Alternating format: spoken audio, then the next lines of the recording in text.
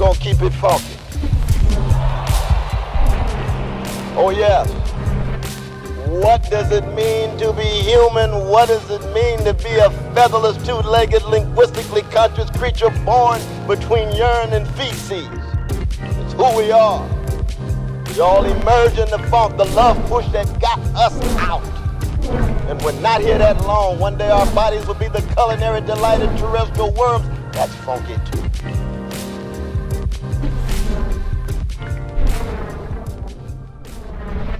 But I want to salute, of course, our dear, dear brother and sister. I mean, Sister Susie and Brother Dash with Think Inc. They bring me here because I've been here with my blessed and beloved daughter Zaytune, and we have just had a time of our lives. We've met so many magnificent people here in Australia of all different colors, but of course we always wanted to begin there at Redfern. We wanted to begin with our precious Aboriginal and Indigenous brothers and sisters and let them know that uh, truth crushed to earth will rise again and the condition of truth is to allow the suffering to speak. When you really zero in on the voices of the suffering, then it actually is contagious. Then it hits women of all colors. Oh Lord, patriarchy is real. We got to come to terms with this domestic violence and these various forms of violation. Then the working class of, hey, there's wealth inequality. These bosses are running amok. Corporate greed is out of control. And you get the ecological activists. The planet's about to go under. What we gonna do? Now I do appreciate the summer-like climate in your winter. Now I want to be honest. I appreciate that, but I know that might not be normal. That might have something to do with what's going on the planet as well, though. So this is your last day in Australia. Last Last, tomorrow you're leaving, We so hit the ground. You seen- you seen kangaroo? Yeah, we, we saw the koala. She got a chance to touch one of those koalas. That was nice. is that Vegemite? What was that? Ve- Vegemite. Veggie- You got, you got to touch like a, a native animal. You got to eat Vegemite, and you got to experience racism, and then you pretty much.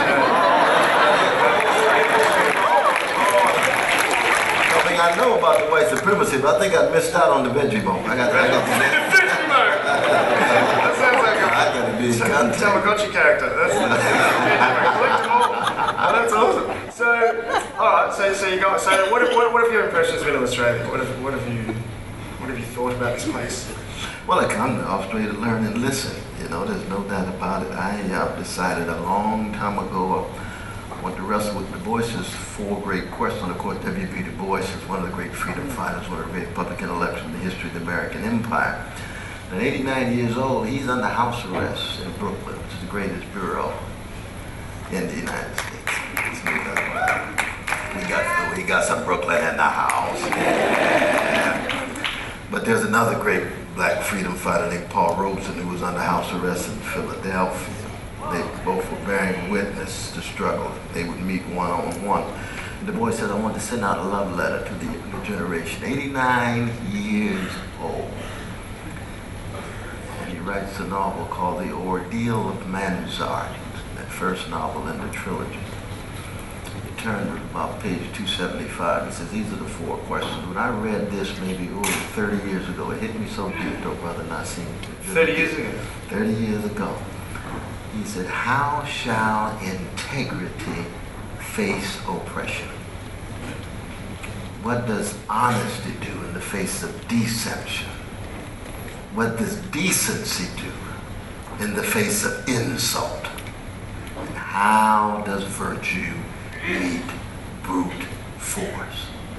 And so when we ask ourselves the question of what it means to be human, how do we seriously, substantially, courageously aspire the integrity, honesty, decency, and virtue in the face of oppression, deception, insult, and brute force? And what that means, really, and this is why I'm a blues man, because blues is about catastrophe, that if we actually have an, a, a hypersensitivity to the catastrophe visited on people, and then aspire to intellectual integrity, tell the truth, spiritual integrity, unapologetic love, moral integrity, consistency across the board, so it's not just concerned with our neighborhood, our group, our tribe, our clan, our race, our gender, our sexual orientation, but humanity across the board. And of course, Brother Peter Singer and the others extended to our sentient beings and the animals and so forth. Wonderful time we spent at the zoo in Perth as well as uh, sitting at Taronga Zoo really gives you a sensitivity because they're such fascinating creatures, you know. They were looking at us as much as we looking at them. oh, absolutely. But this issue of integrity, honesty, decency, and virtue is these perennial questions. Every generation has to answer that. And your generation, because I'm old school and you new school, you know that. yes, You still got time. Nah, I still got time. I got a little bit of time, but I've been here a long time and I've been here enough. I've had an abundance of blessings in my life. I'm just trying to bear witness to truth and justice before I go with a smile. But I want to try to pass something on to the younger generation and say, in the age of cupidity, love money, mendacity, lies, criminality, the connection of lies and crimes, hold on to integrity. Hold on to some sense of honesty. To be a person who aspires to integrity, honesty, and decency in the United States is to be countercultural. And my hunch that's probably true for Australia. And it's not just in relation to the vicious legacy of white supremacy, but the legacies of male supremacy, legacies of homophobia, legacies of vast wealth inequality, uh, and the legacies of, know, saying anti-Jewish hatred, anti-Muslim hatred, anti-Arab hatred, all of the things that go into the makings of the modern world. That's why I'm so inspired by my dear sister, uh, Jenny. Good- good You guys were just dancing Oh. backstage. Oh yeah, no, they played little Natalie Cole, who's the daughter of Nat King Cole. and We just started rocking. I felt like we were in Harlem. She felt like she was in Redfern. We just. Well, No, well, no, there's, there's history in the rhythm. It's history how you move your body and stylize space and time with your body. Because sometimes that's the only thing you got control over. They took your land, they exploiting your labor, telling lies about your history. At least you can make sure that when you move, there's truth in it.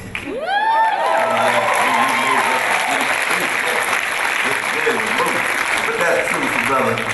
Is that true for when white people dance as well? White folk got their own kind of soul. There's such a thing as vanilla soul. that you- But you got to work at it. You got to work at it. It doesn't come by means of osmosis. You got to struggle and suffer and wrestle. You know what I mean? I mean, Eminem is real, you know. Eminem Oh, I know we Eminem. talked about last time. Uh, we'll come back to Eminem. Actually, while you guys were dancing, I texted my friend. I said, "Hey, dude, uh, this is an extremely intimidating task having to interview Dr. Cornel West. Uh, do you have any suggestions for questions?" He said, uh, "All I know is that I saw him on Q and A. You guys watch?"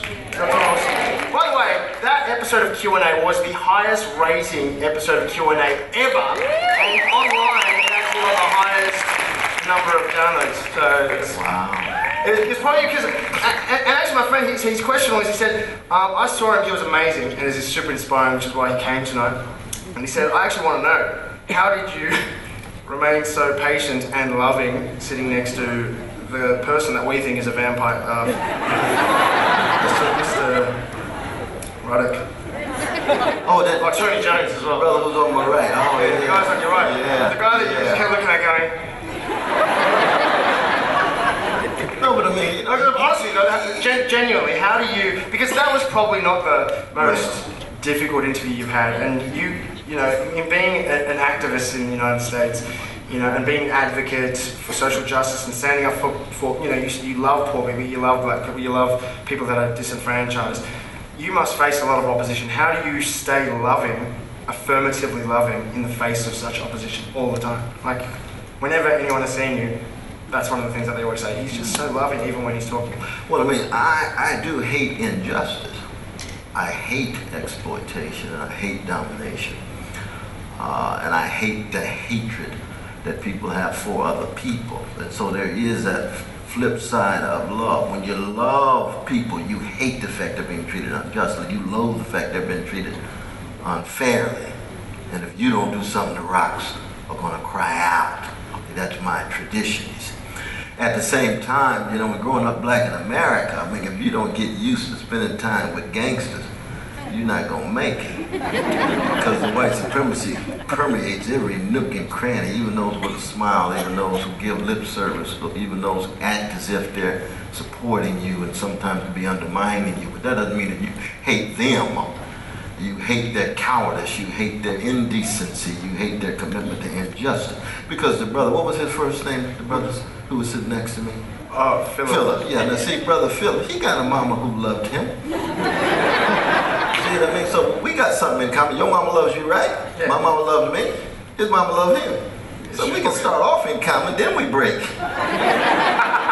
Then we have deep disagreements. No, he's siding with the wealthy and the powerful. I'm siding with those friends that's known called the wretched of the earth. And we have clashes. Now, of course, it's also the case that I don't like what ruling elites do, let's say, to our precious uh, asylum seekers, especially the children. I hate that. I can't stand it. You know what I mean? And so a lot of times, you know, people will look at me and say, oh, Brother West, you must be a hater because you have such righteous indignation and holy anger and moral outrage. I said, yeah, you got the right brother. That's right. I do have that in re- justice in regard to hatred and revenge. But uh, there, I can imagine there's probably some moments when I have solidarity with Brother Philip. You know, he, I would hope that he would have been against Hitler. I mean, is he that far right that old? wing? Is that old? Oh, my God, I don't think he's a Nazi. Lord. So that's how you love thy enemy. You just you, you think, well, he probably hated Hitler too, and he had a mom. Well, no, not only that, but also because uh, this is in my old Christian formation that uh, you never want to trump or foreclose people's possibilities, their ability to change. Yep. You see, people can be against the T1 and T3, they can change. Malcolm X was one of the greatest freedom fighters of the 20th century, revolutionary Muslim, 24. And that's very important. Revolutionary Muslim. First and foremost a Muslim, then a free black man, then someone who was willing to get live, live and die. But he was a gangster, Malcolm Little, until Elijah Muhammad loved him. And I was a gangster before I met Jesus, and I'm now a redeemed sinner with gangster proclivities. So I, I changed too. And then I want to give brother, what's his name again? Philip. Philip will change and change. Now you don't hold your breath, you know, but he, he can change. Well, just on that, like I, I was watching, uh, I watched, I saw you on Letterman not too long ago. Oh, yeah. Um, he was on David Letterman, and one of the first things he said to Mr. Letterman was, "Congratulations on 33 years. That's a massive achievement." And he said, he said, "Thank you." And, and you said, "Well, you're only the man you are today because someone loved you." That's right. So it got me thinking about who loves me and who I am, but also about the idea of love being transformative. So two questions: What is love? And secondly, who loved you and how are you the person that you are today? Like what informed? Yeah, see, I, I, I, I have such a long litany of people who have loved me. I mean, I just wish that each and every one of you in the audience could have met my father. He died 21 years ago. If I could be one third of the human being he was, I would not have lived in vain. My mother, Irene's still going. She's got elementary school named after her. She was a teacher. She was a principal. She's strong as ever, praying for me all the time. Uh, and uh, my brother, Clifton, Sister Cynthia and Cheryl, and then I mentioned St. Zaytoon who's here, my son, Clifton. I've had so much love coming at me that when I listen to John Coltrane's Love Supreme, I know exactly what he's talking about. but I know Martin King loved me. I know Fannie Lou Hamer loved me. I know Curtis Mayfield loved me. Nina Simone loved me. Donny Hathaway loved me. Marvin Gaye loved me. Luther Vandross loved me. The Dramatics, the Delfonics, the Whispers, main ingredient. All these folk are love warriors because I come out of a people who have been hated for the way we look, the way we act, the way we talk. But in the face of such institutional hatred, 400 years of being terrorized, traumatized, and stigmatized, we've dished out love warriors. Love warriors. Over, over, over again. That's the caravan that the Isley brothers sang about. That's the love train that Curtis Mayfield sang about. People get ready, don't need no ticket, just get on board. But you better have some courage, better have some vulnerability, get away with your arrogance, hold your sense of haughtiness at arm's length to get on that love train. And you're to have to give up some privilege. Some white privilege, some class privilege, some male privilege, some straight privilege, some imperial privilege. Doesn't mean that it's a matter of stealing from anybody. It's a matter of trying to get people to be in contact with their humanity rather than the things and possessions and commodities that we so often define ourselves through.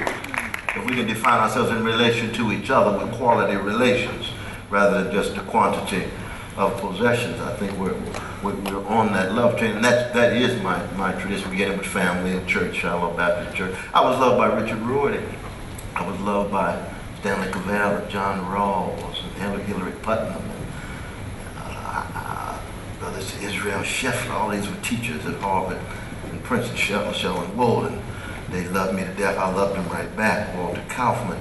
And so I've lived one of the most blessed of lives. That's when I got cancer about 13 years ago and they gave me a few months to live. My response was, Time to go. I've been invited to the banquet of life. I received abundance of riches. I want to be so used up fighting for poor and working people that when they put my body in the coffin, I don't have one ounce of energy left to give.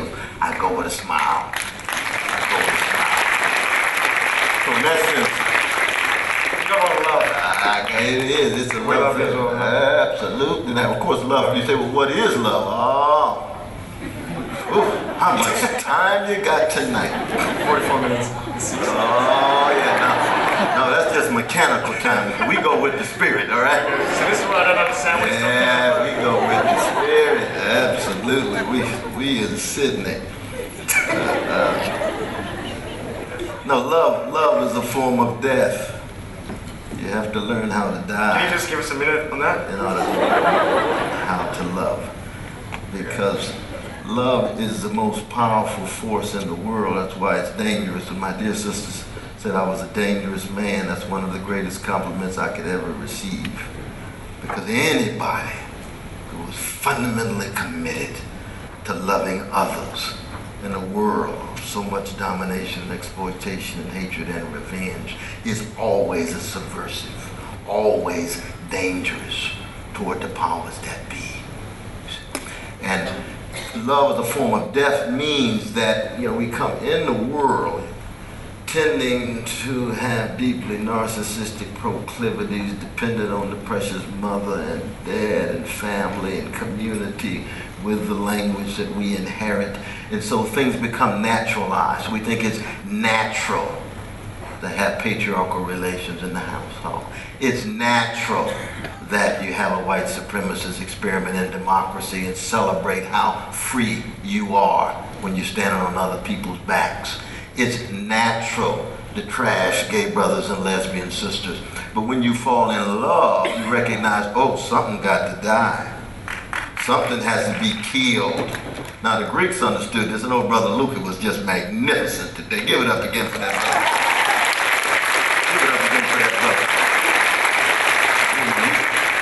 back to Socrates, philosophy, of love of wisdom, the meditation on and preparation for death. And by death, he's not talking about the physical event solely. He's talking about paideia, P-A-I-D-E-I-A, which is deep education, not cheap schooling of market-driven societies these days. Deep education. And deep education is precisely about examining yourself so honestly that you give up certain assumptions and presuppositions that you thought were just natural and normal and anytime you give it up as a form of death, and there's no growth, development, and maturation without giving those assumptions, dogmas, doctrine up. It's like when you fall in love. You see, the old, lonely, isolated, egoistic self has in some sense died and a new self has emerged now connected with another self. You got to smile for a while. It's going to get bittersweet soon, but at least you have a smile for a while because there's new life and there is no life without death, just like there's no rebirth without death. There's no love without death. And part of our problem in America and Australia is that we in our very beginning have been death denying societies. Because when you begin as a settler colonial society, first you got to tell a lie. There's nobody on the land. No, there's somebody on the land. You got to choose between coexistence or domination. If you dominate and become barbaric and bestial and brutal, it's going to be difficult to confront that truth, and therefore you want to tell lies about yourself, about how you're a beacon for liberty and freedom, but lo and behold, you're acting in a barbaric way. This is what we got in the USA. And that's why even in the U.S. Constitution, there's no reference to the institution of slavery. You got 22% of the 13, those in the 13 colonies were enslaved Africans. Their labors generating the wealth as a precondition of the democracy, in addition to the land stolen, dispossessed, the violation of the men, women, and children, indigenous peoples in the United States. So you got these two conditions. U.S. Constitution, how is it not going to refer to an institution in your Constitution? You end up fighting the most barbaric of civil wars, and there's no reference to that institution. That's called chickens coming home to roost. You reap what you sow. Sooner or later, truth across the earth will rise again, which means you're going to have to come to terms with the truth. Well, well, just on that, you wrote in your book Race Matters Yes, in 1992, 1993. that goes that far back now. I got it. You were a young man, younger man, when you were just a boy, a little boy. I was just a young brother, yeah. What you wrote, this is the first sentence in your book. You wrote, What happened in Los Angeles in April of 1992 was neither a race riot nor a class rebellion. Rather, this monumental upheaval was a multiracial, trans-class and largely male display of justified social rage. What we witnessed in Los Angeles was a consequence of a lethal linkage of economic decline, cultural decay, and political lethargy in American life. Race was the visible catalyst, not the underlying cause. Now, 23 years later, we've got Baltimore, Ferguson, other places in America. That's true. That's true. What has remained in all those years? Well, one is, I mean, we're wrestling with the uh, ugly consequences of a neoliberal set of policies that are always threefold financialized, privatized, militarized. Financialized, privatized, and militarized. So in the last 20 years, for example, last 30 years, the United States has been such a war against poor and working people, and it's taken the form of not just massive transfer of wealth of them to the well-to-do, but the fact that 20, 30 years ago, we had multinational corporations that were dominated, and at least they produced things like General Motors. They produced cars, and they had workers, and wages increasing. Now, maybe you got the financialization of monopoly capitalism, where you've got bankers producing deals, so that doesn't translate into the real economy. Stock market breaking records, working people still catching hell. It doesn't translate into the lived experience of citizens. So you get the financialization of monopoly capitalism. That's the financializing. And then the privatizing. You have a problem, public education, education you privatize. Public prison, privatize. Even the armies now, more and more outsourced, privatized. And in America, when it comes to our elementary schools, high schools, where rich kids get taught and poor kids get tested because it's mainly these very narrow tests that serve as a source of evaluation of the kids and the teacher. I don't know what it's like in Australia. Come here to learn and listen. But in the States, it is not just sad, it's a crime against humanity because the kids come to school and they go through these security processes just like we're going to do tomorrow morning when we fly back to the States. Kids go through that every morning. Then they get there and they're bombarded with these tests as a source of their learning. So their critical imagination is not piqued. Socratic energy is trumped. And then there's no arts programs. No music, no instruments. And we wonder why it is that some of these kids make a million dollars and can't sing in tune. Nat King Cole turns over in his grave. Carmen McRae turns over in his grave. And why it is that there's no bands left other than the Roots in the United States. Oh yeah, I'm not just talking about Duke Ellington, Count Basie, and I'm talking about James Brown. I listened to the James that you had here. I'm talking about Lakeside. I'm talking about Charles Wright, Watts 103rd Street Rhythm Band. I'm talking about Sly Stone. They played instruments. They didn't just push buttons on a computer. I mean, yes, yes, young folk these days, get the drummer song. Well, let me get, let me hit the right button. No, Clyde Stubblefield and Jabo got the drummer song for James Brown right on the spot. Just rewind that, do it again. And Bootsy Collins was gonna play his bass differently. He did it on the spot. You can't do that with a computer. Now the problem is, is that the young folk have the same creativity, same talent, but the social neglect and the economic abandon is so pervasive. Now, one of the differences so between Los Angeles in 1993 and today was that, uh, if you notice now I talked about how male-centered the LA rebellion was and the subsequent response. These days, in the age of Ferguson, the age of Ferguson is a beautiful thing in, in the American Empire. There's a marvelous militancy among the younger generation. It's not confined just to the chocolate side of town. It's multi-racial. You got large numbers of young vanilla brothers and sisters saying, we can't stand this arbitrary police power, this police terror against our brothers and sisters on the other side of town. And the leadership is primarily women. That's true. It's just a fact. Ashley Yates and others. And black queer women. That's a different development. Very different development. Even Martin Luther King Jr. and the others had Ella Baker and the others that be magnificent women pushed to the margins. And Martin was kind of smiling from the grave, but he's also saying, but these black queer sisters, boy, they, they something else. We didn't, we didn't really understand that too well in the 50s and so on. So, no, you had James Baldwin, when he was a gay brother. You got Bayard Rustin, he was a gay. You got Audre Lorde. They, they were around, Martin. You just didn't notice it. or your own homophobia. We love Martin, but he's a human being like everybody else. I mean, I'm confused. How do we even get here?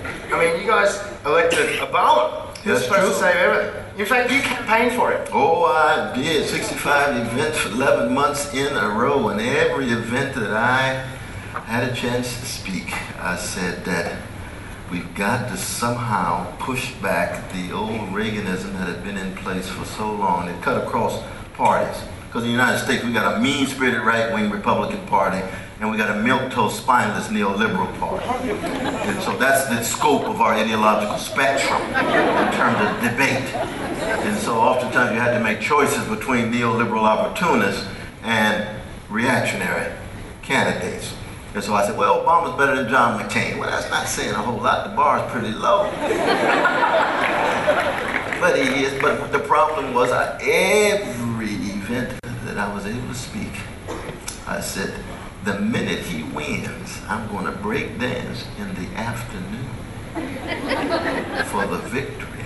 And the next morning emerge as his major critic because he's heading an empire. He's heading an economic capitalist system.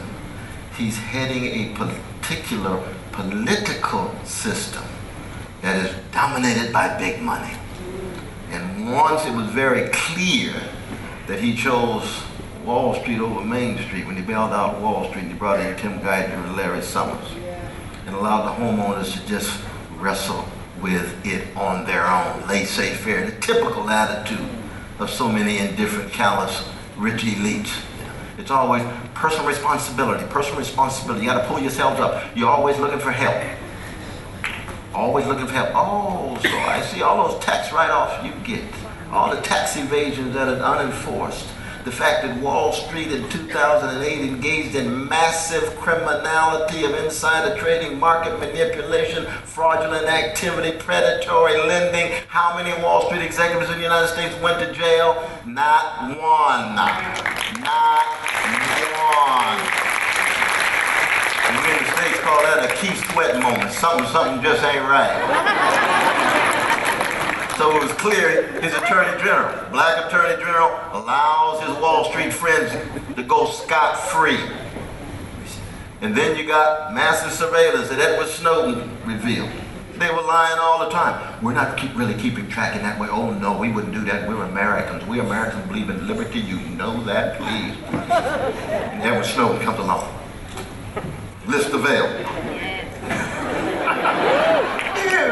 Well, we were kind of playing with the truth, and now about all the lies and levels of mendacity in the Pentagon and State Department. And what does what does Obama do? He not only embraces it, he goes after the whistleblowers intensely, and then the drones. All the drones, 45 drones on the bush. Many of us already hit the street.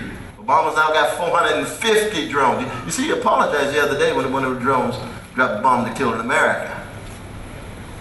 But when it comes to 232 precious children in Yemen and Pakistan and Libya and Afghanistan, not a mumbling word. The 2,000 innocent brothers and sisters. You see, I come from a tradition. You can't talk about John Coltrane's Love Supreme and not believe that a precious baby in Yemen has the same value as an American life. It cuts across the board. And so it was very clear that the critique against the empire that he was heading and the choices that he made once he won led toward a clash. And I've had a big clash. I mean, people in the White House say, oh, Brother West, he's un-American. I say, well, that's a compliment. that's a compliment. I mean, there's a realistic expectation to think that, a, that someone in the position that he's in, the, uh, the President of the United right. States could be a revolutionary or a radical Christian? Like, could, is there even space? That's is it too much to expect for someone to even? I just want him to make to not the effort to live a life of integrity, honesty, decency, and virtue. That's all. He, he could fight for single payer health care. He didn't have to punt on the second down as opposed to the fourth down in terms of giving up the demand, giving up the demands of poor and working people and giving in to big pharmaceutical companies and private insurance companies who still are in the driver's seat when it comes to health care. Now, I do acknowledge the fact that I'm glad that more people have access to it, but it just becomes a bigger market for big pharmaceutical insurance companies. Just making bigger, bigger money, and we're going to have to come to terms with it further on down the line because you can't have a healthcare system predicated on market calculations when people's lives are at stake. Which is the principle. He gave in there so quickly. And the same is true in terms of the prison industrial complex, the new Jim Crow. I mean, the age of Obama is now the age of Ferguson, right? Now, how could that be? Well, how could it be was he didn't give one speech on the legacy of white supremacy as it related to hyper incarceration, massive incarceration going on in the last 30 years. And you say, well, wait a minute, though. What does it mean to have a black president in a White House built by black slaves? And you can't say a mumbling word about Jim Crow. Now it's Jim Crow Jr., not Jim Crow, Jim Crow Sr. We broke the back of Jim Crow Sr. Jim Crow Sr. was legalized segregation. Now we got de facto segregation.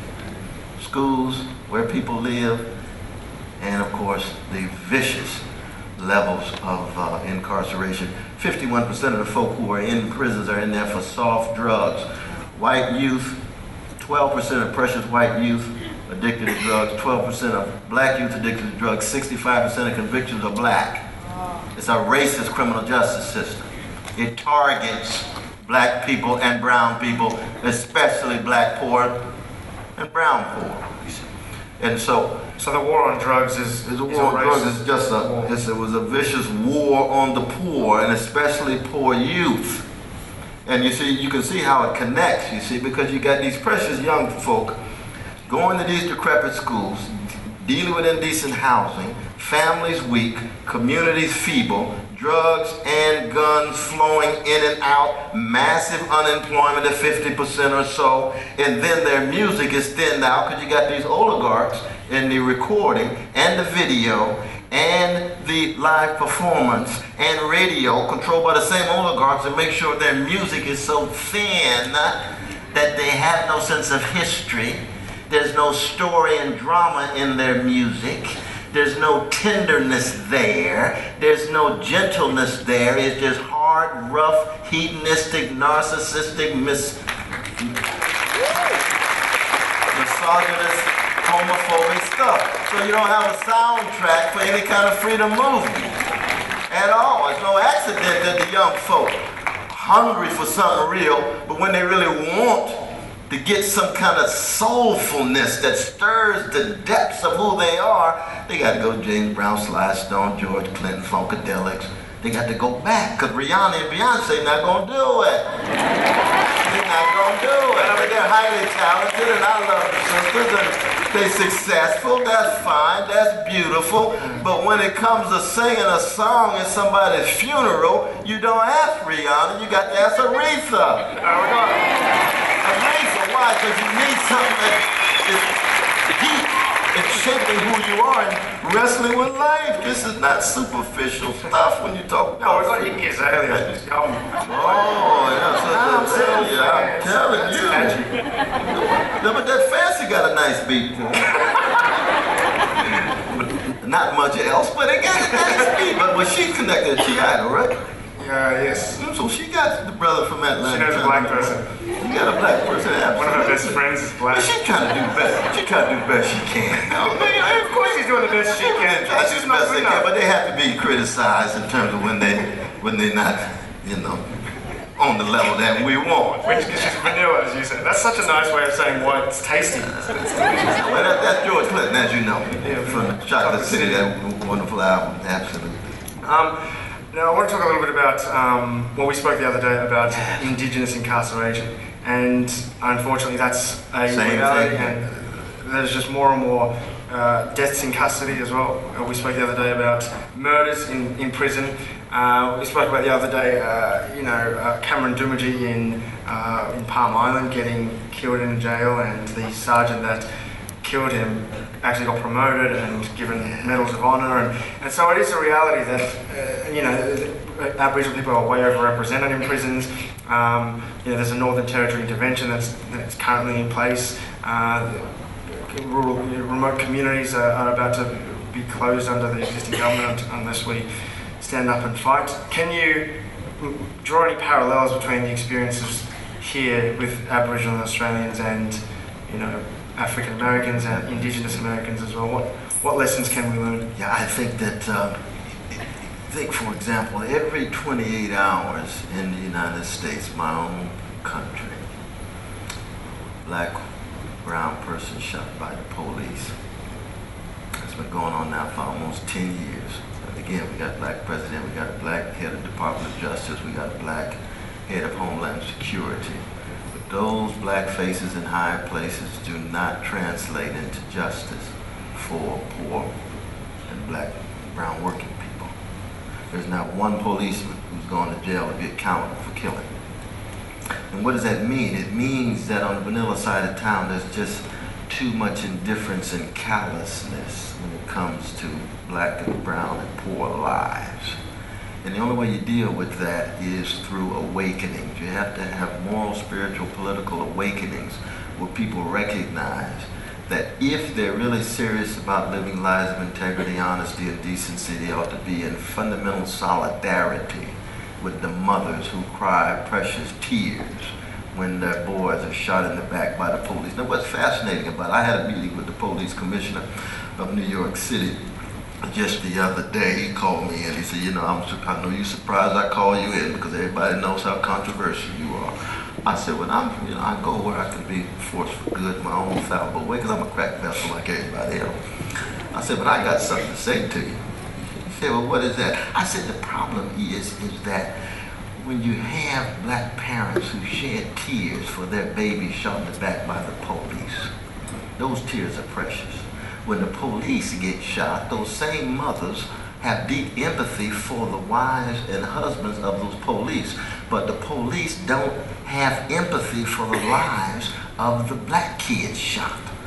I said, so the problem is you got a deficit of empathy, a deficit of sensitivity on one side, and the other side is still very concerned about the whole. You see, that's why, for example, when we were there in Ferguson, we were actually where Michael Brown's body got lay. arrested. And yeah, when I went to get arrested because I didn't go to give a speech. I like to talk, but sometimes you gotta stop talking. You know, you gotta go to jail. You gotta stay there and spend time with the brothers and sisters in the in the cells. You and could so just get a visitor's pass. world. No, after, but but when, when we got out, we went to where his body lay for four and a half hours. Blood flowing. The police wouldn't allow anybody to gain access, including his mother. Dogs urinating on the body. The level of disrespect and contempt cut so deep. If we didn't do something, we would have collapsed. What do you do as a human being when you're treated in that way? Well, you see, this is what's been going on with Aboriginal brothers and sisters for 227 years. World War I started then and it's still going. It's been happening for indigenous people in the United States. It's been happening with black people, with brown folk.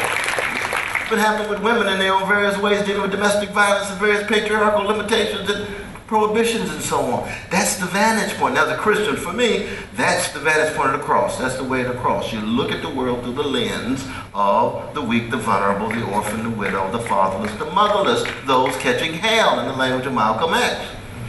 In the United States, what has happened? The awakening is setting in.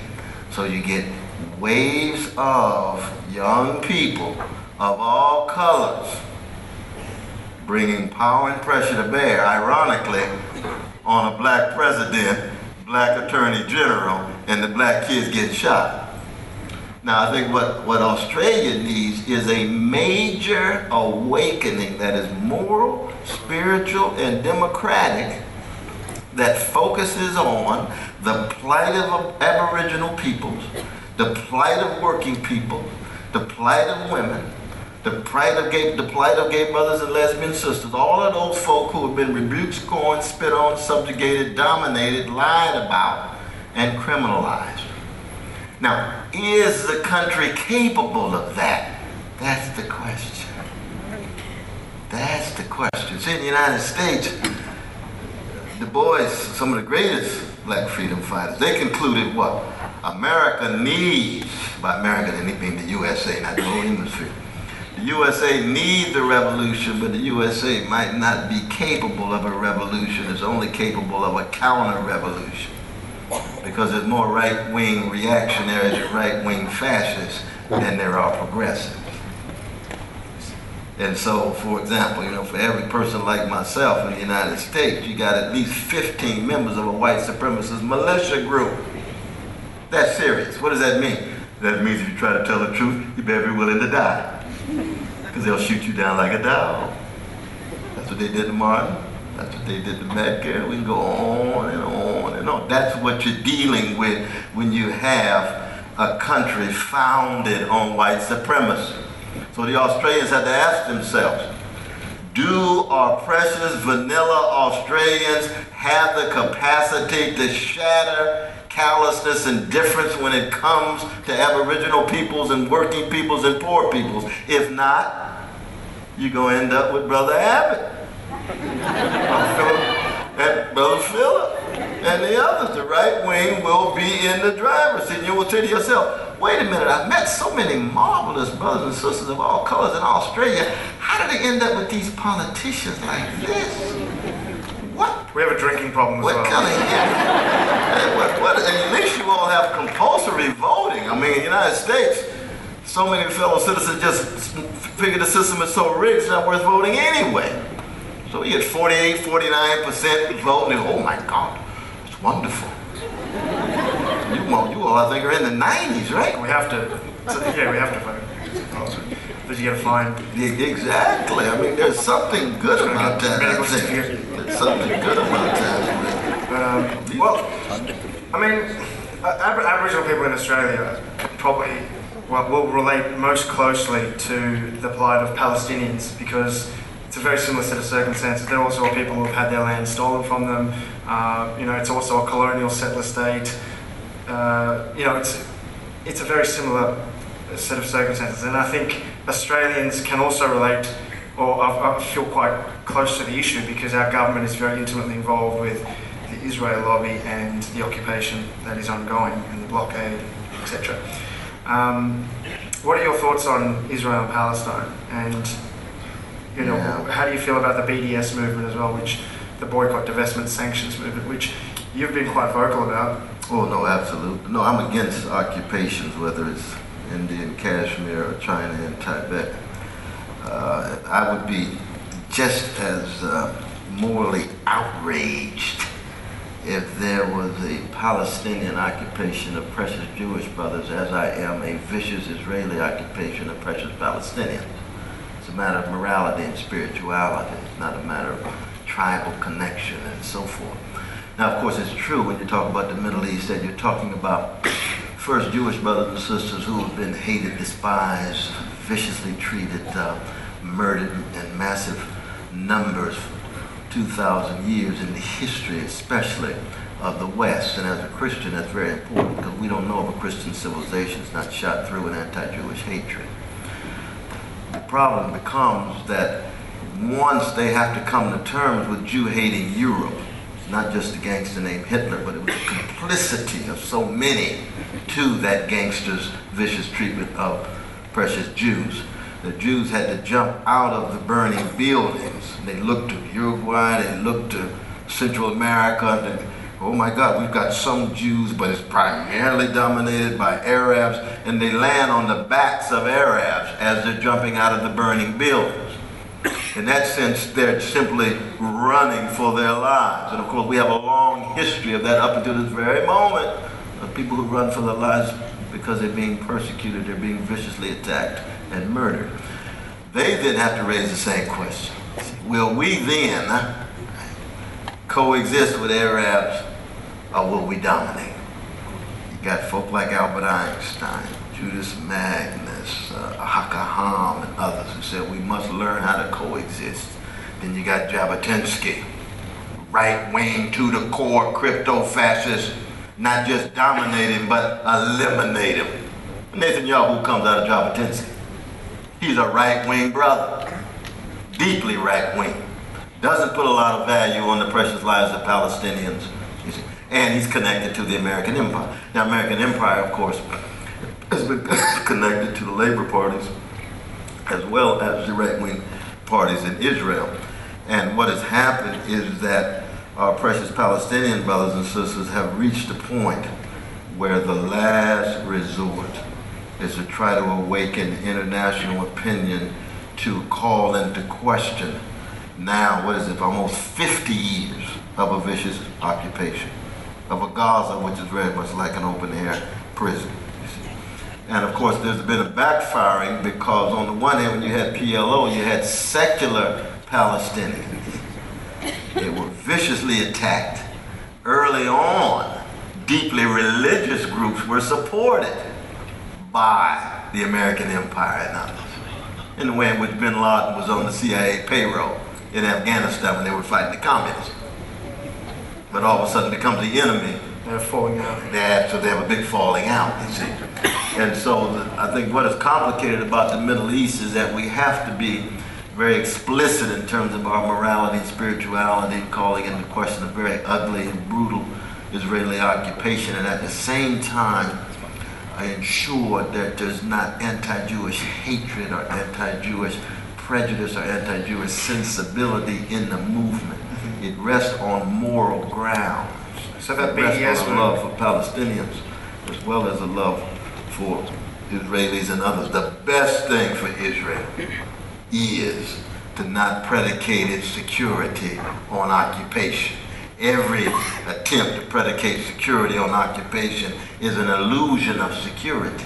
Because Jewish brothers and sisters do belong, do, do deserve, there's no doubt about this, it's a very serious issue, they deserve security and protection. Because for 2,000 years they've been viciously attacked. But if they think the only way they can get security and protection is to keep a boot on the back of a people, they're going to get resistance no matter how long. That's not believed by right-wing Israelis like Netanyahu and company. So, so for, for ordinary people of good conscience, is something Yes. like the BDS movement something that is good to be a part of and to back? It has, it has received some, but Well, it's received criticism because there's a variety of different voices in the movement. You see, you've got some people in the movement that have uh, that believe that the Israeli state itself is illegitimate, that believe there ought to be a secular state, that believe that there's only one state that ought to be, and there ought to be a return of refugees, and therefore you can imagine for many Jewish brothers and sisters, they hear this and say, oh my God, this sounds like elimination all over again. We've heard this language over and over again for 2,000 years. There's others in the movement like myself who believe that the best thing would be a secular state, but it's hard for me to conceive of it given the depths of the enmity, and therefore I do support Palestinian self-determination at the same time as I support Israeli self-determination mediated with very, very thick international troops so that the Palestinians would not be demilitarized, would not be dependent. They'd have their own freedoms, as it were. Vis-a-vis, in some ways, very similar to the Germany's, with Jerusalem looking very much like Berlin. Now, we have, so there's disagreements within the movement, but what we do agree on is the occupation must end immediately and there has to be some honesty about the history told. So the Nakba and the catastrophe of 1948 is part of the narrative in the same way that the Nakba and the catastrophe of 1788 or 1829 or 1901 in the history of Australia is honestly dealt with. And then you allow the voices to come together. And I think in that sense it ought to be unpredictable. I mean, I'm, I'm, I'm very much a jazz man. You know, I don't know what the jazz orchestra gonna sound like once people raise their voices. Then it changes night to night anyway. Uh, but you got the free folk up to raise their voices. And I think part of the problem is the Palestinian voices have really not been taken seriously. And sometimes that's true for Palestinian leadership itself because you've got corruption and decrepit Palestinian leadership too often as well. This has been true in the history of anti-colonial movements. You got some magnificent leaders in the anti-colonial movement, then you got gangsters. Yeah, we just get paid. You got to keep track of both. Speaking of gangsters, uh, Yes. I wasn't for gangsters, I was for your lives. oh, I, I was wondering what they were, which gangsters they were clapping. You want to be critical of? Them clap clapping. my gang. No, Yeah. Um, uh, who, who are ISIS? And, you know, Now, the guys are the gangsters. That's ISIS are gangsters. Oh, oh, they're fascists. There's no doubt about that. Huh? Definitely. You said what? I just heard someone say Israel. Uh, oh, let's go to a conference. Yeah, no, no, no. You- Someone you- said ISIS are Israel. ISIS I is. think that's a, a different organization. Oh, no. No, we've talked about the barbaric policies of Israeli Defense Forces when it comes But to ISIS, yeah, I mean, uh, 500 Palestinian babies in 50 days. That's the essence of barbarism. Mm-hmm. But ISIS are reactionary and crypto-fascist formations. There's no doubt about that. Very much so. And they are, in some ways, a response to uh, the imperial policies of the past, the inability for secular national regimes in the Middle East to survive, and of course there's reason for that, given the corporate interests of imperial uh, regimes outside of the region. And uh, uh, but we have to be very honest in terms of the, uh, the massive persecution and violation of women and so forth and so on of, of ISIS and some of the other organizations, no doubt. Uh, we've only got a little bit of time before we open the floor, so you, you call yourself a, a revolutionary Christian, right? That's right. That's right. What does that mean? But also, what would what would your type of revolution look like if you were if you were to call for a revolution tomorrow? I think every revolution looks different relative to the conditions and circumstances. It looks very, very different. Revolution in Norway looks different than revolution in Australia. They got different history in Norway. It'd be so boring then. I don't know. Hear that I don't know. Ibsen. I don't know. Ibsen, Ibsen was calling for revolution. He's a great Norwegian artist. Uh, uh, uh, it's just relative to what the options are. I mean, if you have ruling elites who trump every possibility for nonviolent civilized change, and you make revolution inevitable. Because people are going to assert their humanity. That's just a bottom line. There's no doubt about that. Uh, when Nelson Mandela decided the ANC has explored every possible nonviolent option. Going back from 1911 to 1957, we have found in the spirit of the nation we are now involved in armed struggle, beginning with attack on property as opposed to persons. Nelson Mandela, that's right, a guerrilla. Outright guerrilla, just like George Washington and Thomas Jefferson in the history of my country. They were urban revolutionary guerrillas against the British Empire, the empire that, of course, disproportionately shaped the trajectory of Australia. Are you all still part of the empire? Or is it Commonwealth, not a republic? Every we, we go to the Commonwealth Games. Yeah, and that's it. exactly. It's, it's a complicated dance that takes place on somebody else's land.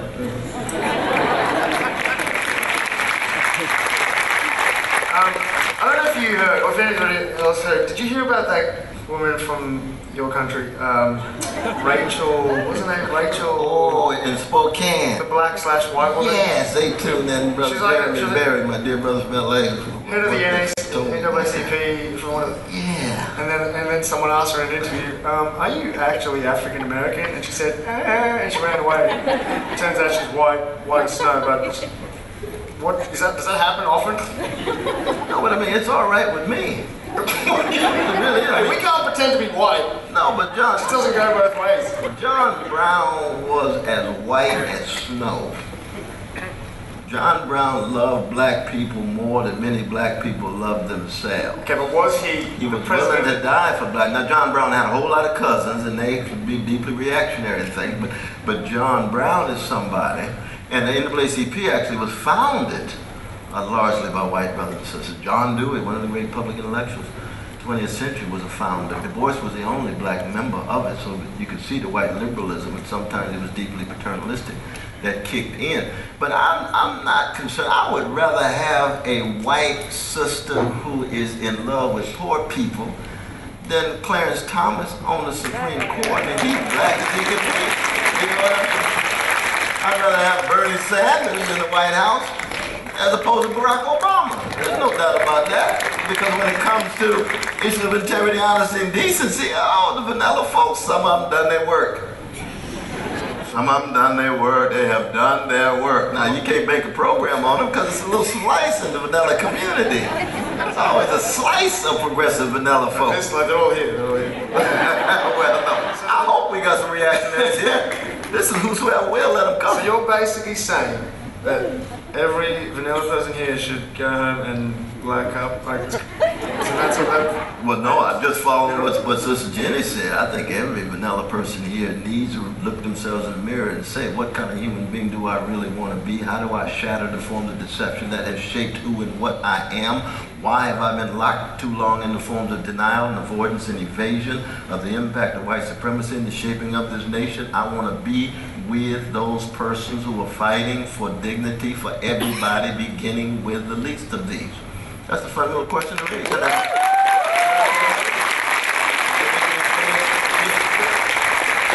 answer well, lukewarm. I'll do that on Monday and Wednesday. The rest of the week, I'm gonna cool out.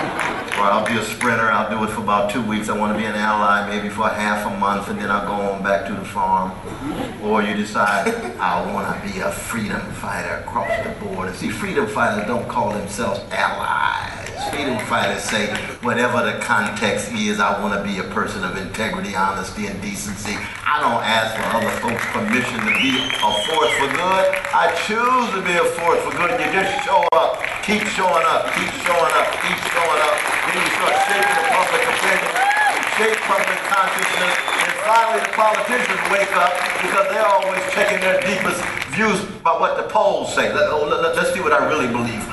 Spencer, what do you think I should say? Poster, what do you think I should say? And lo and behold, you put the pressure on them, then they start talking about it. Oh, yes, I think Aboriginals ought to really be treated with dignity. We got to get beyond all of this talk, this lip service that's been part and parcel of the history of all these years. Why? Because you got a new public. And that new public, large numbers of young folk who care about poor working folk, starting with the chocolate folk here. And not just here, but around the world. We got our Dalit brothers and sisters in India. Oh, how important it is to make the links and the connections. The peasants in Mexico, the women catching hell in Afghanistan. I mean, all of the different challenges, and most importantly, and this is where the uh, the music comes in. Talking about this with Brother Luco, that if you don't find joy in serving others, you'll never be a long distance runner. You're not doing somebody a favor. You you got to find joy in it. And see, so much of contemporary culture is a joyless quest for pleasure. Pleasures are insatiable. They keep coming, keep coming. That bodily stimulation that we talked about, which is the culture of superficial spectacle. This is what late capitalist societies produce image, what seems to be the case, what you appear, how much status, reputation, what your trophy spouse looks like, what your body parts appear in the mirror and so forth. How narcissistic on the most superficial level. What kind of human being you gonna be? What they gonna say about you in the coffin when your body's dead? They're not gonna talk about your insatiable pleasures. They're gonna talk about what joys did you generate. They're gonna talk about what fruit did you produce, not the foliage that you projected? That's the question. That's the my tradition. See, because black folk, you see, if we didn't have that, we would have been assimila- assimilated into vicious white supremacist mess a long time ago. Curtis Mayfield would have been sounding like Pat Boone. John Coltrane would have been sounding like Kenny G. I love Pat, I love Kenny, but you know what? American culture without Curtis Mayfield and John Coltrane would lead me to want to migrate or immigrate to Australia. I said, oh yeah, I got to human come here. I got to come here to get some soul. Kenny G and Pat Boone, I love the white brothers, but they're not gonna sustain my soul. I need something rich, deep, that thick stuff. Oh yes. You should uh, check out Guy Sebastian when you. well, Dr. West, that's enough from me, but I think we're going to open up the floor now. Oh, absolutely. Take Yeah, uh, absolutely. only five questioners. So we're going to run down here to the center. One. We can have more than that, though. We got a lot of people here. We Uh, can have this, more this We'll little go with the flow. dirty, We'll go skinny with the flow. schlank guy here is going to kick my butt if we go over time. So it says five buttons. Just do whatever. Wow, this is what the people look like, though. Wow, you are a beautiful crowd, I'm telling you. Um, hello, How I'm doing? Melanie is- Middleton. I am from the States. From the States, which part? I live in California, Northern California. Which part of Northern California? San Jose. I'm not from there, but... Ooh, Lord, Lord, Lord, you know, good to see. see you, I see. I grew up in Sacramento, you know, ah, okay. but I'm further north. Very good. Ask, does that always happen like when Americans say where they're from, someone else is like, I'm from there too! That happens here. Melbourne, I'm from, I'm from Melbourne. See? That's very interesting. Uh, no, and it also happens with other universities where we went to school. You know. Um, so my question is really around, um, you're just hearing your thoughts on, you talked about um, how the media and social, how social media is actually in, influencing and, and helping to move forward on the movement. So you have people now capturing things with cell phones, uploading it, and it's now going viral. So I'd love to hear your thoughts on how this movement has now changed in the light of social media. And then also the part two of that would be what, um, as we start to also watch the news cycles and people are capturing these things, you're also starting to see some very negative, like very hurtful, watching people die in real time, like on TV. So psychologically, that is absolutely hurting us as a people as well. So I'd love to hear your thoughts on how social media has also influenced this movement and um, how the news media seems to use it to also continue to hurt us as well. Yeah, no, appreciate the question. It's good to see you. Good to see you. But one is, though, I think that uh, certainly social media is very important in terms of an instrument to be used. But you first have to have people enough courage to put the videos out there. So you never can reduce just human character and who, what kind of human beings you're dealing with. Because a lot of times, you know, when the internet came along, you, you get the typical cycle in Western societies of fetishizing technology. When what they really need to do is come to terms with what kind of human beings they want to be. The internet has produced, on the one hand, new possibilities and modalities that are magnificent. On the other hand, what else has it produced? Massive surveillance, more wealth inequality, unemployment. So you got a dark side and a night side alongside the other side. So, and that was true for the transistor radio. You know, there were new possibilities, but then there were new limitations. That was true for television. any form of technological instrumentality can be used with people of character in a very positive way, or it can be used by thugs in an ugly way. And so, therefore, social media is not a kind of panacea. It's just a new tool to be used. But if you don't have the right people in place, the courageous visionary folk in place, this, you know, the, the surveillance becomes, you know, the kind of uh, uh, Orwellian project on steroids. You know what I mean? And that, that, that, that's also how elites can use it, corporate elites as well as government elites and so forth. So it's important to keep that in mind. I think a lot of folks in younger generation think, well, now we got something that granddaddy didn't have. And we, because granddaddy didn't have it, somehow we're going to be larger forces for good. Not if you're cowardly, conformist, and complacent. It's not. No, not at all. You better get your courage together to. And if you, if you study grandma closely, she was courageous too. She just had her earlier form of technology she was working with. You see what I mean? So I don't want that issue of social media to somehow cloud the possibility of social movements. Social movements are made by courageous, visionary folk who are willing to live and die. Social media can't do that. Stay strong though. Thank you so much.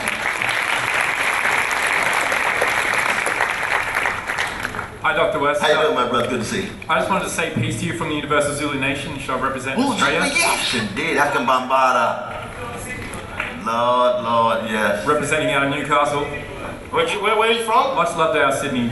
Zulu. Sydney! Sydney Zulu stand up. Everyone here's from Sydney and no one cheers. No, that's all right. I feel a bit question, Poach, but I wanted to ask you about social media as well and your views on it and how it can be like a positive tool to uh, sort of fulfill the needs of a community that are really hunger for knowledge, but also to the negative side of it. Of it, it can be definitely a tool for sharing ignorance and the massive explosion that it's actually caused in um, society.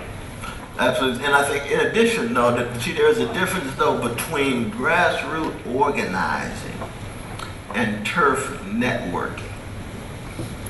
The turf networking can be used for grassroots organizing, but there's still a need for physical presence in communities. So people who think that somehow you can just generate a social movement through social media are going to miss out. At the same time, that social media, as I told the sister before, can be very important in that sense, though. But so that in a way, my answer to your question is the same to hers. Absolutely, it's the same to hers. But the wonderful thing is you can get around corporate media. And that's what's important. We were talking before about the, uh, we have shows in various uh, venues in the United States, Black Agenda Reports, Democracy Now, uh, Tavis Smiley show, Brother uh, Jeremy's connected to, and so forth, that provides some alternative views. But for the most part, corporate media is just very narrow. Social media can help get around it. But what else gets around it? Whole lot of right-wing fascists. Cat videos. Ugly xenophobia that's pervasive among fellow citizens and so forth and so on. You see. So it's always a give and take, up and down. Stay strong, stay strong, no brother. No, indeed, indeed. Is this a question about Twitter? Uh, hi, Dr. West. How you doing, my dear brother? to see Good, good. Thank you. Uh, thanks so much for a really inspiring talk. It's been absolutely amazing. Uh, touched on a whole lot of social issues, and one of the things that I absolutely love is that you always incorporate music into it, and as you uh, said it, the soundtrack of a movement. And uh, personally, I'm more of a Miles Davis man, but I Oh, love my Coltrane. Oh, Lord, yeah. Uh, No Coltrane without Miles, and we know that. That's true. That's true. Uh, so one of the things that I want to ask, uh, because you definitely see the value of music in shaping uh, a generation's social consciousness, I want to ask you about probably the most recent, most impactful record, which I think many might agree with, is Kendrick Lamar's "To Pimp a Butterfly." Uh, whether you have heard it yet, and uh, if you have, your thoughts, and more importantly, what anybody in a Western society or really any society can take away from it to play their part in improving our well-being? Oh, my dear brother, I appreciate that question, and no, I've not yet heard but I am going to have you far ahead of me in that regard. Though. I, am behind on some of this folk. I've, I've heard some of his stuff, and I hear creative confusion in, in a lot of his work. I like his honesty, and he's honest about his own confusion so that there's moments in which it looks as if he's got clarifying breakthroughs, other moments in which he's repeating some of the cliches and platitudes of the larger culture. Uh, but that's just a slice of his larger corpus. But I'll say this, which is a more general point, is that uh, one of the reasons why for me music is so fundamental, because you know the great Rabbi Abraham Joshua Heschel used to say that the the most powerful ecumenical movement on the globe is nihilism. And by nihilism, I don't mean just the kind of uh, fancy pseudo-Nietzschean reflection about meaninglessness of intellectual sipping tea and going home to watch television. I'm talking about the nihilism that you get among folk who are wrestling with hopelessness, meaninglessness, touchlessness, lovelessness, the challenge of addiction, the challenge of self-hatred, and wrestling with what Plato meant by Thrasymachus' call for might makes right. That's nihilism. That's Dostoevsky Grand Inquisitor. We know that we pimping the people, but we acting like we are believers. That's nihilism, you see. That's the most pervasive force on the globe. Music has become the major force of transcendence for the younger generation. Most of them are unchurched, they're unmosqued, they're untempled, they're unsynagogued. Their only way they get distant from their pain and get beyond the paraphernalia of suffering that they often wear is music. You know, the first response to deep suffering, silence, the next response. Now, the first is tears, the second is silence, the third is song. How do you objectify this grief to get some distance from the pain that can devour your soul. Music. You see, Vico talks about this in the New Science. He's right about this. And for young people, uh, hip hop, the music coming out of the American empire. Hip hop is an American imperial export. Just like jazz and blues, but it's an internal critique of the American empire from the folk who are on intimate terms with catastrophe, intimate terms with terrorism and their response is a musical response, and the rest of the world catches on. There's an energy, there's a power, there's a potency there, you see. And so this young brother you're talking about from California, he's wrestling with this in the present context. And, and, and I have to check him out. But I mean, I think hip hop has been too silent on the issues in Ferguson. Not enough voice. I'm glad Lupe Fiasco's out there. I'm glad Raheem DeVaughn out there and some others the two side. Was it J. Cole? Dead Prez over there. Oh, Lord, yeah, but Dead Prez, they always on the cut, and that's why they wasn't they on my album, you know. One and stick man. I mean, Dead Prez and other KRS One, but I'm talking about this younger generation. Dead Prez been around for a little while now. Eh? They not spring chickens. Don't worry he about Kendrick. They've been around for a little while. But I, I hear you, Don. I'm not going to go on any longer. I appreciate the question. Thank you. You stay strong sister. How you doing? Hi, um, I'm a philosophy student at ANU, and um, I found a lot in various universities in Australia that saying you're a philosophy student is met with, well, what are you going to do after that? Like, can you find a job? Is that something you just do, smoking weed during the day? Um, but I want you being a philosopher. I wanted to know where you saw, where you see philosophy's role in both social, political, economic, ecological realms today. Yeah, no, I appreciate appreciate it. You can ask him for a job if you want. I mean, there's a difference between philosophy as a profession and philosophy as a way of life. There's a number of persons who live philosophical lives but might not call themselves philosophers or live philosophical lives and don't teach philosophy as a professionalized discipline within a managerial academy. Uh, uh, uh, academy. Uh, so that I think we study philosophy because you want to learn how to live well. And you know there's a short trek between your mama's womb and the tomb. And that little bit of time, you want to be able to muster the courage to think critically for yourself, be able to bounce off your voice against other voices, present and dead. It could be Plato, it could be Pythagoras, it could be Toni Morrison, James Baldwin, or it could be Gary Foley. See what I mean? But you say, I want to be able to be not just an echo, but a voice. I don't want to be just a copy, I want to be an original.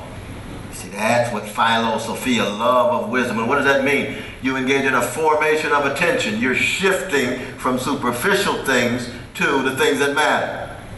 And that's what the distinctive feature of philosophers. They, they love a wisdom. That's what we love about Socrates. Socrates may have never cried, which means he couldn't have been a blues man, but that's all right. he thought for himself. And he engaged in that line 24a of Plato's Apology parrhesia, uh, frank speech, plain speech, fearless speech, unintimidated speech, was willing to pay the consequences. He tried to live well. We love that about Brother Socrates. And so that becomes a source of inspiration in one's own life, whatever career you have. Career can never trump your calling of living well. Career and calling, two different things. Two different things. But good luck in your studies, man. good luck in your studies. You want to turn that off? Thank you, Dr. West. Uh, I'm How you doing? Very well, thank you. It's a pleasure to ask you this in person. I uh, also a student and I study the, pardon me, civil rights movement at the University of Newcastle, just Wonderful. north of here. Wonderful. And I read in The Radical King that you say uh, the king's radicalism, at the essence of his, his radicalism is radical love. And I noticed that recently there's a new movement, uh, Reclaim MLK, MLK Strike. So I wonder if you could elaborate on your words, and I wonder if you've had any interaction with that movement as well. Yes, thank you. And I salute the work that you do, but you all are so much on the cutting edge. Radical King just came out a few weeks ago, and you read it all, read the text, and got analysis and commentary. His face is Of so course, proud. of. I salute you, though, brother. And I don't know anything about this movement of reclaiming King. I need to get in on that. Absolutely. But as you know, my argument was is that most Americans don't like to acknowledge the really which Martin Luther King was shot down like a dog in Memphis. That 72% of Americans disapproved of him, and 55% of black people disapproved of Martin. Because he's trying to bring all poor people together. He had a critique of the American empire. So Whitney Young calls him up. Says, Martin, you set the movement back. We have nothing to do with Vietnam. He said, no, Vietnamese babies had the same value as black babies, white babies, red babies, yellow babies, across the board. Martin said, y'all never knew me. You didn't never knew who I really was. I'm not some narrow civil rights leader. I love black people, but I love others too. Now, of course, a lot of black folks love everybody but black people. That's a problem. But he loved black people and everybody else. So when he made the connection to Vietnam and poor, people backed up. New York Times said, oh, he's just expressing radio, radio Hanoi propaganda. Marginalized him. I try to make that clear in the text why he was willing to give up his popularity for integrity, honesty, and decency. Why he gave that wonderful speech about W.B. Du Bois that you see in the text when everybody around him says, stay away from Du Bois. Du Bois is viewed as some kind of communist. The last thing you need is more enemies. And Martin said, what? Anybody who aspires to be a person of integrity never has enough enemies. Never has enough. Bring it on. I'm gonna take a stand. That's where I come from. That's the kind of man I am. That's the kind of Jesus loving black man Brother Martin was. That's why we love him. You see what I mean? But good luck in your, in your stuff. I wish I could have more conversation. Come to your class. Newcastle, how, is that, how far away is that from uh, Sydney? Uh, it's about two hours uh, by the car. Oh, yeah, yeah, I can't get there tomorrow morning. all right, all right. Train trip All right. Hi, Dr. West. My name is Amal. How are you doing? Good, how are you? Nice to see you. Um, so I had a few questions prepared, but then Nazeem asked all of them. So uh, my question is, um, with the CIA torture reports that was released, um, I found that the response um, wasn't there's a lot of lack of empathy and. Um, it seemed like there wasn't any repercussions um, despite the descriptions of you know lack of sleep and sexual abuse and um, things like that. So what are your thoughts on that? No, I, I, I agree. I was just disappointed by the uh, the indifference and the callousness. I mean, the good thing is that it shattered some of the secrecy.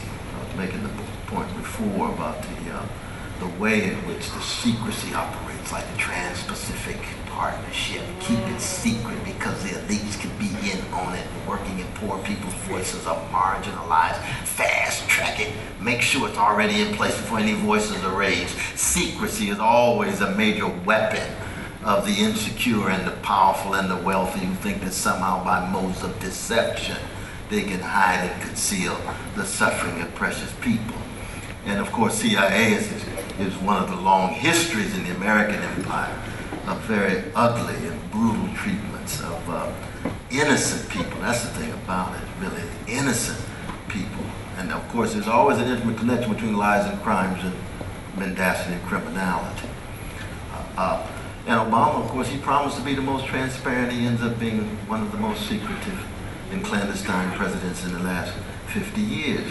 It's a very, very sad commentary uh, on that. But I hope that the, uh, the voices of conscience around the world will lift up.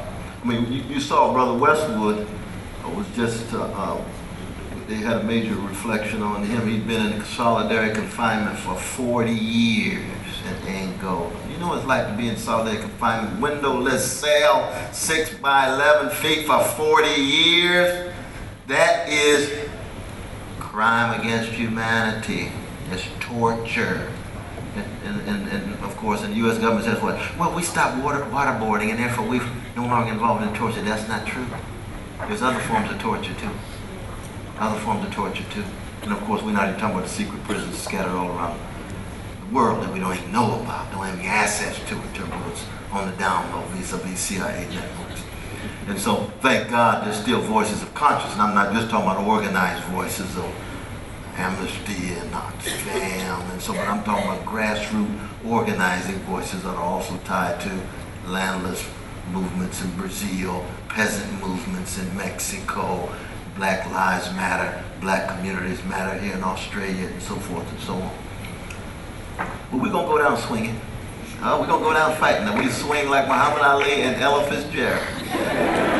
Yeah, we're gonna go down swinging. We, our, our voices will not be crushed. If only we had the money like Mayweather. Oh, no. It'd be a, it'd be a good Isn't that the truth, too? Well, he can swing, okay? He can swing. He can swing. you know he's got gold in his mouth guard? Actual gold and actual dollar notes in his mouth guard. Is that right? That sounds like paraphernalia suffering, too. Go Hello, ahead. Dr. West. Yes, ma'am. Uh, my name is uh, Professor Grace Smallwood, and as you can see, I'm dressed in our colours. I travelled 2,000 miles to see you, and I just arrived, and I'm leaving back tomorrow. That's what I think of you, my brother.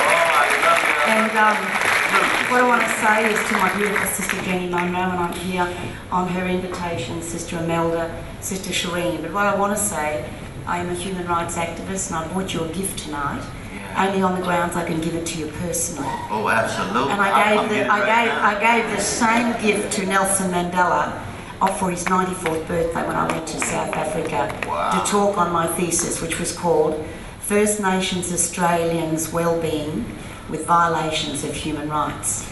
And every topic that you hit, brother, is in my thesis. Wow. Uh, my background is I'm a First Nations Australian woman. My father is First Nations Australian. My mother is a South Sea Islander. The slaves, the Kanakas that were brought over here 150 years ago to cut the sugar cane. You know all about the First Nations Australians, and I have Torres Strait children. And when I was in your country in the 70s and 80s, I befriended Brother Stokely Carmichael, Oh, yeah. Kwame Ture, who took me all around the states to talk to the Black Panthers. We went to Libya together. We went to Mandela in 1998 to speak at Biko's memorial.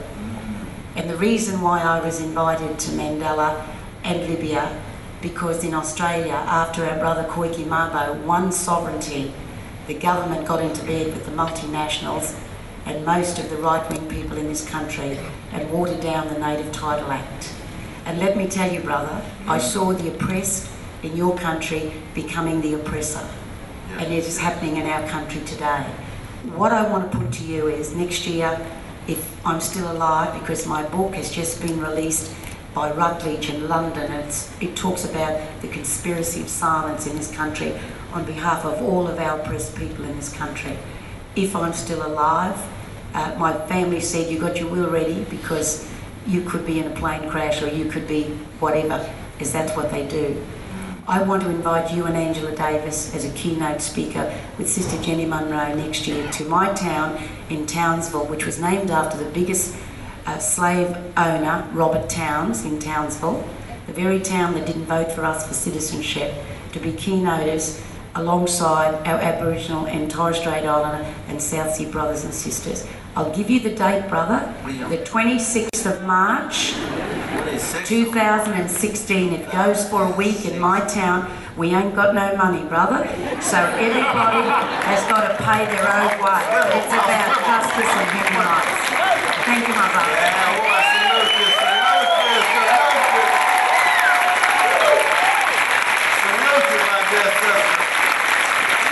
fascinating you were mentioning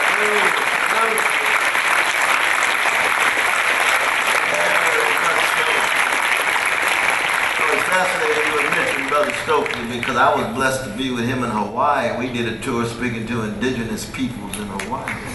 This was in the 1980s. He died, of course, you know, in the late 90s, but he was of the great freedom fighters. We, of course, we had some disagreements. He's scientific socialist, I'm a revolutionary Christian, but oh, we had a lot in common too.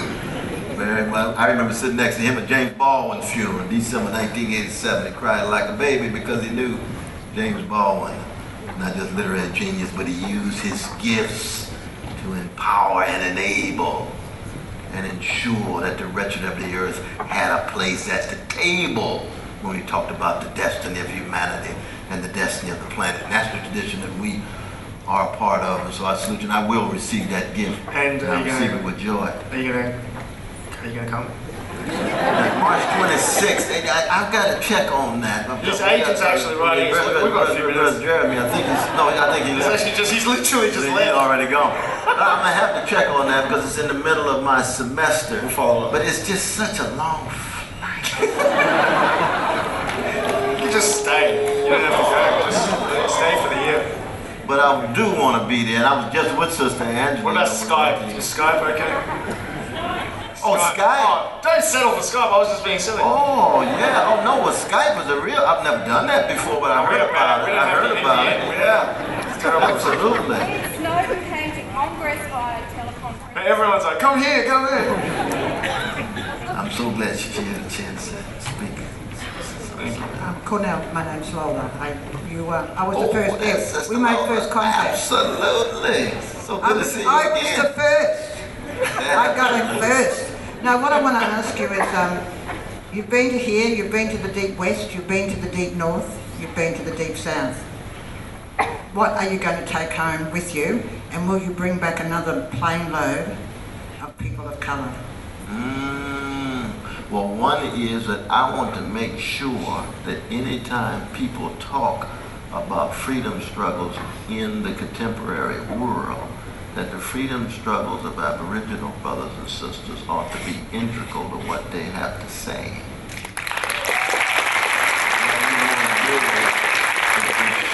whatever forms of invisibility have been in place. And by visibility, I don't mean Aboriginal brothers and sisters to themselves. They're highly visible to each other. But the mechanisms of uh, generate the kind of conspiracy of silence that she's talking about. And it has to be shattered by voices that are highly visible. And at the moment, I'm highly visible. We don't know how long. You got to use it as long as you can. That was celebrity status. Yes, as a Christian, I believe I'm using every form of weaponry. It comes out of sixth chapter of Ephesians. Put on the whole armor, and when you put on the whole armor, you use every form of weaponry available to you, including your visibility. And that's what's been so wonderful about this trip, and that's what I love about uh, Brother Dash and Sister Susie, that they've been they've allowed me not just to come and be some isolated voice. I want to make sure that all these rich collective voices that have been involved in struggle for decades and decades and decades were part and parcel of each event. And I didn't ask for that. They did that themselves because they know the kind of brother that I am. It reflected precisely my sense of always being collected, part of a collective struggle. So that, that that's going to be the main thing I take. Now, is there anything else I should take, Sister Lowen? I want to know what what, Vegemite. what you've learned. No, Vegemite, yeah. It's really good when you've got a hangover.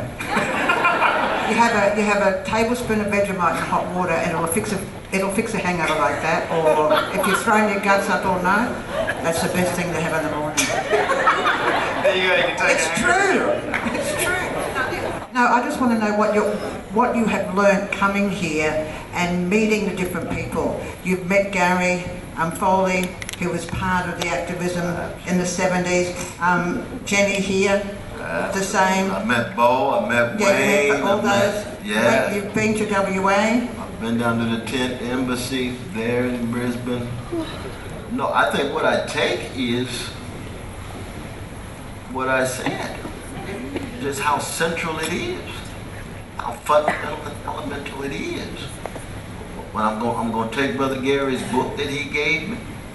Make sure that is widespread. I want to have conversations based on that book. When his dissertation is published, I told him I want to write an introduction to that dissertation so it gives it as much visibility as possible. Those are the things I take with me, my dear Lola. And- and- and- and- and- Yes, yes, yes, yes, one more, one more point, Sister Lola, got me? Yeah, all I want to say is um, many happy returns for your birthday that you had uh, two weeks ago. Okay? No, I, I appreciate that too. You stay winking. strong. She's winking. I think she's No, indeed, no, indeed. We started with Sister Lola on a high note, but we, we have a few more questions. But just, just we can let it let, let it roll, no, brother. That's that's fine. My missus, how you doing? Okay, um, I, I follow a lot of people like yourself who've dedicated themselves um, to fighting against the system of racism, white supremacy, and you've been talking about it, but I think it's important um, to get the definitions. And one of the definitions that I agree with, and I'd like to know if you agree with too, is um, from uh, someone by the name of Dr. Neely Fuller Jr.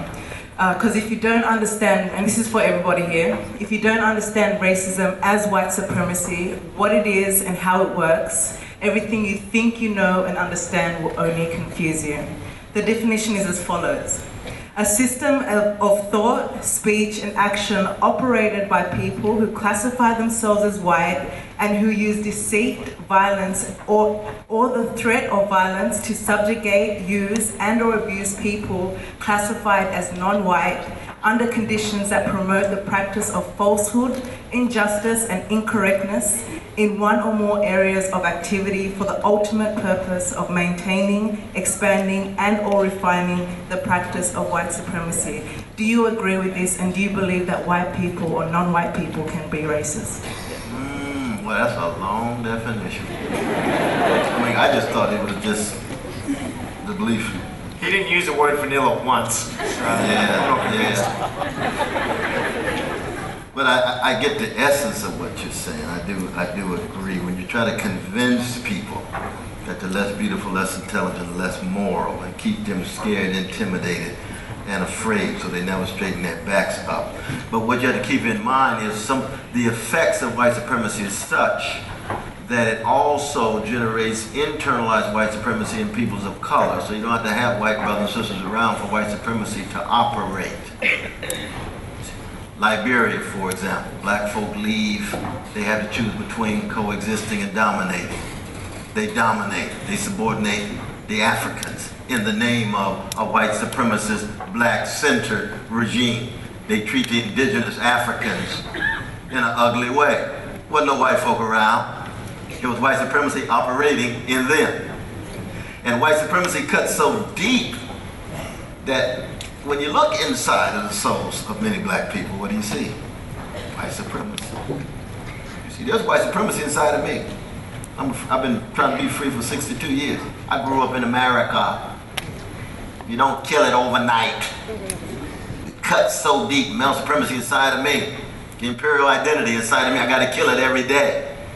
Even when you're willing to live and die for black folk, you still carry a little white supremacy in you because the history cuts that deep. History's not the kind of thing uh, that you just leap over. So I think your definition and mine is similar to the degree to when white brothers and sisters come up to us and say, oh, well, we've transcended racism. I'm not a racist any longer. My parents have work to do, but I've broken through. He said, well, if I'm a black man and I got white supremacy in me, my hunch is you got some work to do too. So that it cuts in that deep way. So, what so at the beginning of definition, it says only white brothers and sisters, they initiated it based on exploitation of labor, stealing of land, but it has these effects and consequences that go far beyond just white folk doing X or Y. Can black people be racist? Black people certainly can hate. Black people can be vengeful. Black people can be gangsters. Black people can be thugs. Black people do not have a system of black supremacy, of control of institutions and infrastructures that internalize black supremacy in white folk. No such thing.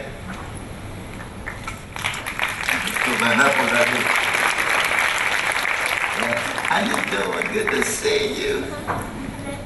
Um, firstly, I'd just like to thank you and how inspiring you are. You're welcome.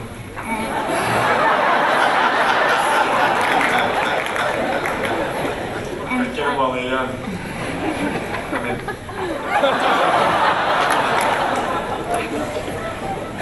And I'd like to ask you if you think you'd be where you are if you didn't have music. Oh, my dear sister, you were just so eloquent and just so courageous in asking your question. I want to salute you. I want to salute you. And we're so glad you're here. And there's no doubt that other than mom and dad's love and other than the support of others and other than my own deep Christian faith, if I didn't have music in my life, I would be less able to do whatever I do. Let me ask you a question though. Is there music in your life? Okay, so we on the same vibe.